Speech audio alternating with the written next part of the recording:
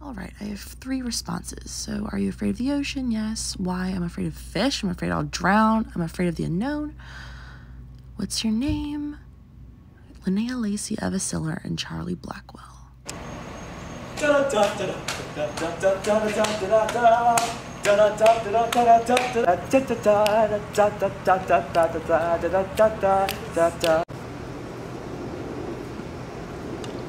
All right, hey guys. Hey, how's it going? Good. Okay, so I've brought all three of you here today because you each have a fear of the ocean. Is that right?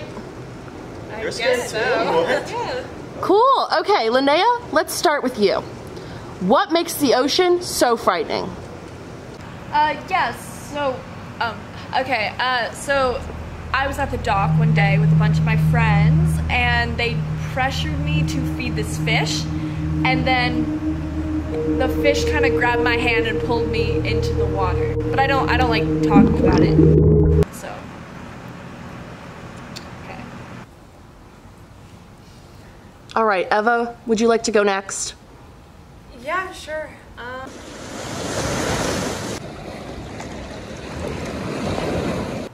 I was out with my friends. We were at the beach, and they kept telling me, "Just come on, come swim, come swim, come out farther and farther." And I just wasn't that sure about it.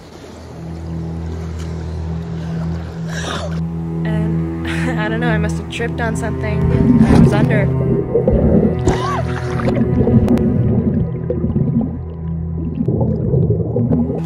And it took a while to get back up. All right, Charlie, your turn. Okay, can you come closer?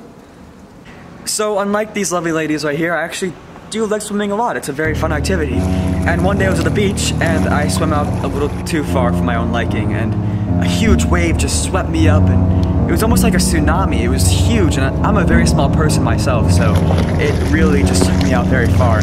And that uncertainty, you know, feeling something beneath me, but I didn't know what was there, it was a very, very scary feeling for me. Just to, to see all the fish and to feel like there was something beneath me, like a huge monster, it was really, really scary. And something I don't ever want to face again. So, I would like to ask, what do you think would make you get over your fears of the ocean? Nothing. Absolutely not. no. God, no. Absolutely not. No. No.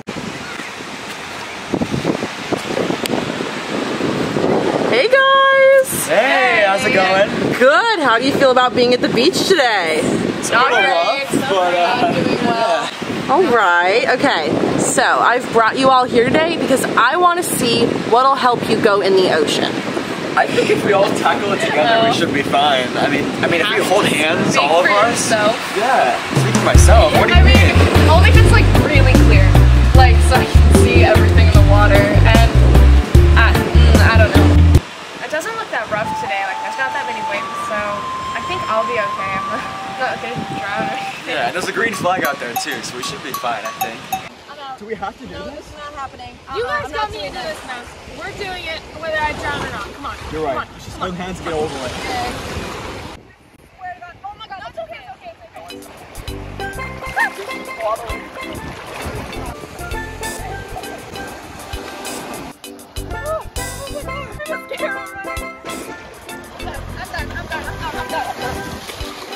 It's like that one movie called Baywatch.